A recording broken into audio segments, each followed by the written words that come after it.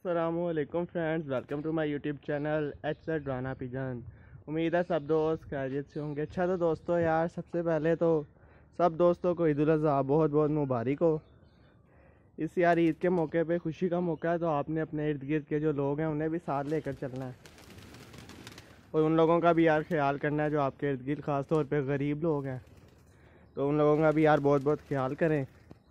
तो ये देखें यार, आज ईद का दिन है तो ये जाल पर एक कबूतर आकर बैठा हुआ है।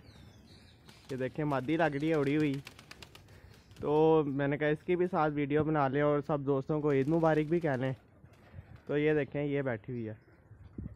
तो यार, ईद का मौका, बड़ा खुशी का मौका होता है। तो यार, ख़ास तौर पर जो आपके इर्द गिर्द यार गरीब लोग हैं, आपने उस लोगों को भी साथ लेकर और अजीज़ों, कारीब दोस्त हैं, सब लोगों को ईद के मौके पे साथ लेकर चलना है।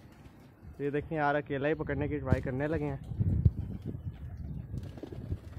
तो ये कबूतर भी आ गया ईद वाले दिन नहीं तो मैं ऊपर ही आ रहा था, मैंने कहा एक वीडियो भी बना लें दोस्तों को, ईद मुबारक कह लें। तो ज़रा मसरूफियत थी, आपको पता है मेहमान वगैरह आते जाते रहते हैं। तो फ्री नहीं थे आज।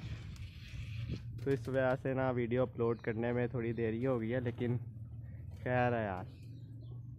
जंगली भी साथ बैठा हुआ देख लो। उड़ गया यार।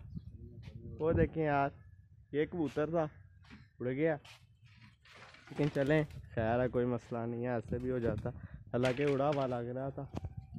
ठीक है फ्रेंड्स चलें यार, ईद मुबारक भी आप लोगों से हो गया। तो वो देखें, वो अगले जाल पर जाके बैठने लगा। वो बैठ गया। ठीक है फ्रेंड्स इंशाल्लाह नेक्स्ट आने वाली वीडियो में मुलाकात होती है। तब तक अल्लाह हाफिज़।